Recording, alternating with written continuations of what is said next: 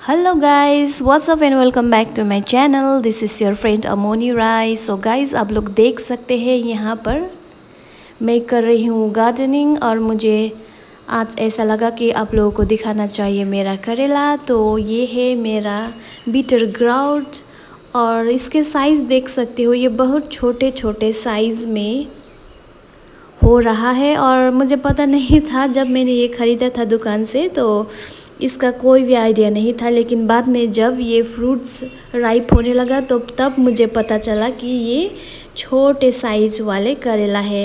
Anyway I am feeling very happy क्योंकि ये first try था मेरा और मेरे घर के एरिया में कोई ऐसा प्लेस नहीं है जहाँ पर मैं गार्डनिंग कर सकूँ। इसीलिए मैंने ये लगाया था। एक छोटा सा पॉट में, मिट्टी के पॉट में और ये दे रहा है ढेर सारा फ्रूट्स तो इसलिए मैं बहुत खुश हूँ अगर आपके घर में भी प्लेस नहीं है गार्डनिंग के तो आप भी ऐसा करके लगा सकते हो और ढेर सारा फ्लावरिंग भी हो रहा है. Okay guys thank you all for watching my video